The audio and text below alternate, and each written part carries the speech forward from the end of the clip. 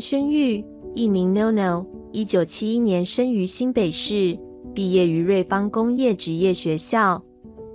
节目主持人，综艺谐星。NoNo 这个小名来自于小时候，他父母怕他被人拐卖，告诉他如果遇到陌生人要说 “ano”，“ano”。该缘由被追星族们得知之后，从此 NoNo 成为陈轩玉的艺名。NoNo 在念国小五年级的时候，父亲过世，妈妈一手养大四个孩子，看着妈妈一生劳劳碌碌，NoNo 最希望能给妈妈过舒适的生活。自从 NoNo 在台湾演艺界大放异彩，赚了第一桶金后，除了买马赛宠宠自己外，他也在著名的艺人区将妈妈接来一起住。一九九七年，NoNo 正式出道。后来在三立电视公司成立经纪部时，NoNo 被其所签下，成为首位进入其经纪部的艺人。当时他的日薪为新台币二千元，且被允许能参加三立的任何节目。然后开始做摄影助理。道具的工作人员，继而在三立综艺台颇受好评的歌唱竞赛节目《二十一世纪新人歌唱排行榜》中担任工作人员。当时几乎每一集至少被该节目主持人使唤一次，使 NoNo 当时已经小有名气。二零零八年开始，亦有人称他为“比卡一哥”。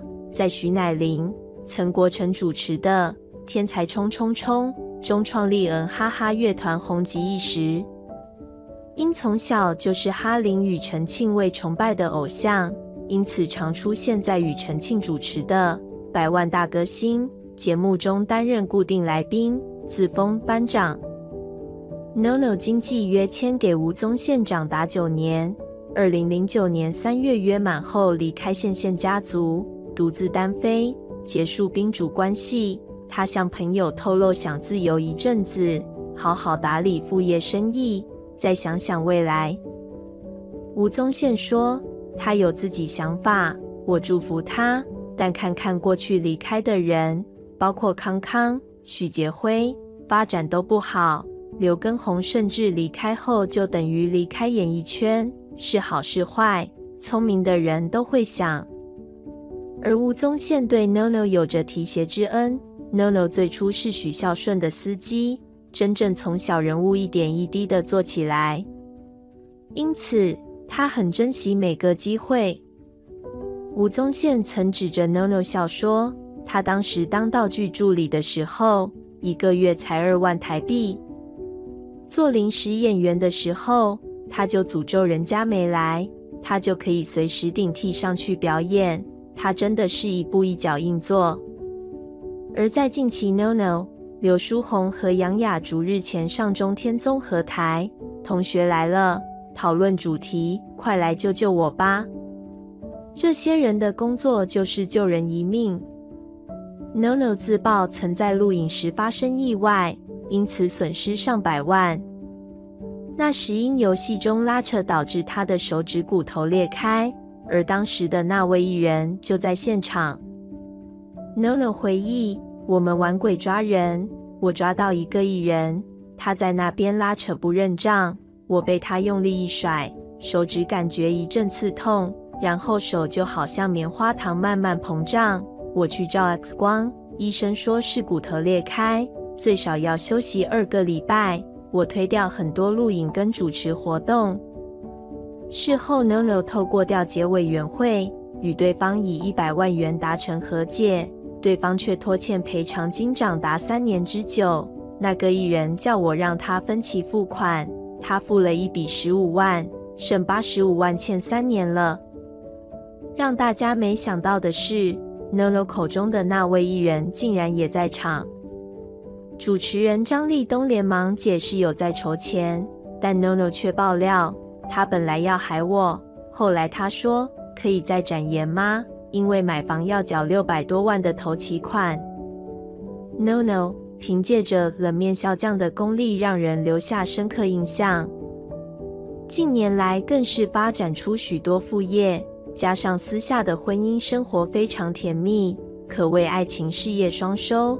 过去在节目上更提起自己在妻子怀孕期间的贴心举动，更让粉丝们大赞：“真的是好男人。”他的现任妻子是台语歌手朱海军，两人相差了将近十四岁。过去在跟女方求婚时，还一度遭到了对方妈妈反对，认为女儿事业刚起步，不适合太早结婚。然而分开了四个月以后，NoNo 还是在师傅许孝顺的助攻下，成功抱得美人归，如今还顺利生下了一个可爱的女儿，实在让人羡慕不已。然而处女座的朱海军则回忆与 NoNo 婚前交往时，有次使用对方的电脑，发现电脑中还保有前女友的 email，内容写着：“亲爱的，跟你分手一年多了，但有时还是会想起你的幽默和温暖举动。”而且女方寄信频率非常高。朱海军愤愤地说：“看完后我都快喷血了，心里想这些东西你留着干嘛？”由于对方署名 Cherry。朱海军只要看到这名字就有气。后来朱海军甚至发现家还保有前任物品，最后忍不住询问，只见 NoNo 牵着他的手解释：“宝贝，你看到的那些东西我已经忘记，是不存在的了，所以我压根也不会想到说那些信还留着。”最后 NoNo 除了删掉这些 email，也丢掉这些物品。以平息朱海军心中的疑虑。回忆起两人初识，是在朱海军仅十二岁时。当时在歌唱节目担任工作人员的 NoNo，对这位十二岁的小朋友略有印象。而真正认识是在多年后，两人因哈林节目《百万大歌星》重逢，NoNo 主动向他要电话，两人在接受。一周刊专访时这么形容彼此：朱海军看 NoNo 从前辈大哥，现在是爸爸的感觉。NoNo 则说：“我从小看他，从十二岁开始看他长大，到现在变成我太太，很是浪漫。”访谈中，NoNo 透露，朱海军从小就到处唱歌跑江湖，想法成熟。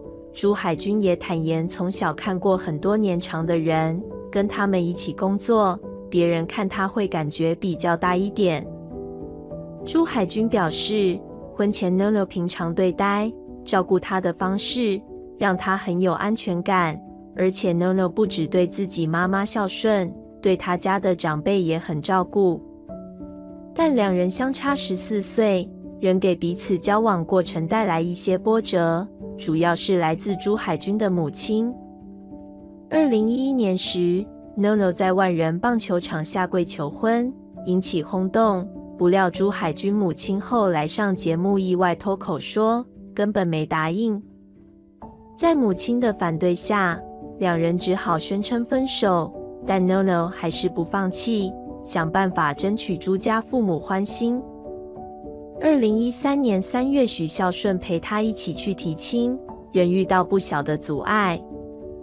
当时朱海军的家人不知道他们要去提亲，惊愕之余，妈妈不希望他嫁，当时每个人都掉下泪。之后费了一番唇舌，最后才得到允许。NoNo 表示，岳母其实没反对交往，但因求婚太突然，让他不太谅解。而岳母当时也希望朱海军能先冲刺事业，所以才提出意见。